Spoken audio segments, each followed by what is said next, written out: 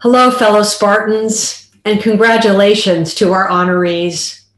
I wish we could celebrate in person, but know that I am delighted to honor each and every one of you through the miracle of technology. Speaking of which, our theme this year is Zooming Through Time, which is fitting on several levels. We all have become experts in navigating Zoom for meetings, training classes, and more. But we have also been zooming from change to change throughout the year, meeting the numerous challenges this pandemic has put in our path.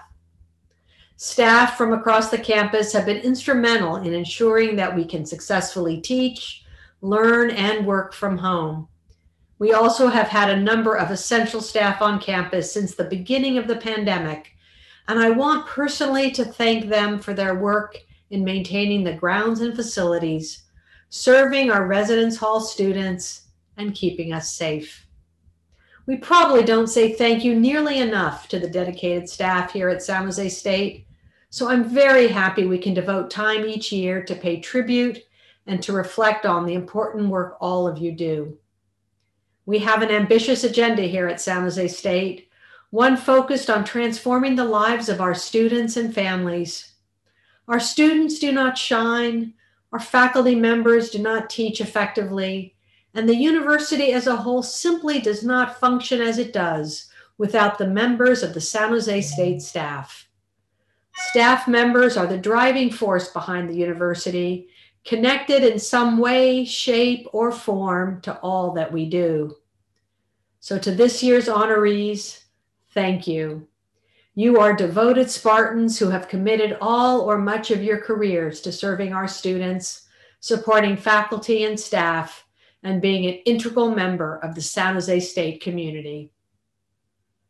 Now, this week, we recognize almost 300 of our staff members for reaching service milestones in 2020, ranging from 10 to 40 years. 40 years. Wow. You are all to be commended for your many, many years of valued service. So, congratulations to all of you for reaching such impressive career milestones. We look forward to celebrating your contributions to this university for many years to come. I encourage you to take the time to view the honoree videos as they are posted this week and to congratulate your colleagues on their achievements. And I also want to extend a special invitation to attend the live staff awards presentation Thursday afternoon, March 4th, beginning at 4 p.m. Details can be found on the university personnel website. Congratulations again. I look forward to the day we can once again celebrate in person.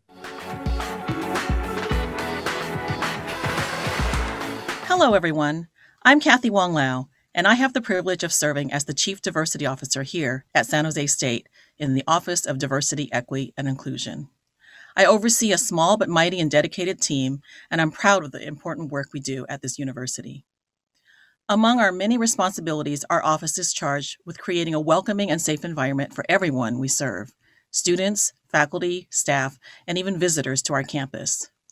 That, as you can imagine, requires collaboration across the university's various divisions, colleges, departments, and other units. In my role, I have the opportunity to work with staff members in many different roles and in all our divisions.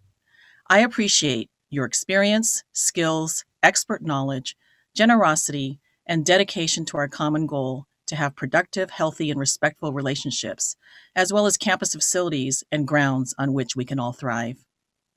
I appreciate how willing our staff members are to build a more equitable and inclusive environment, whether participating in a training, joining a campus conversation, providing content knowledge, or advocating for equity for our students and for our fellow workers. We are especially grateful for the staff who served on our Campus Climate and Belonging Committee and to all of those who are helping us to move the university forward on its goals of achieving racial justice and equity. The staff members who work at SJSU are absolutely critical to the success of our entire campus community. Please know that my colleagues and I appreciate the work that you do to make our campus a better place for all. Thank you.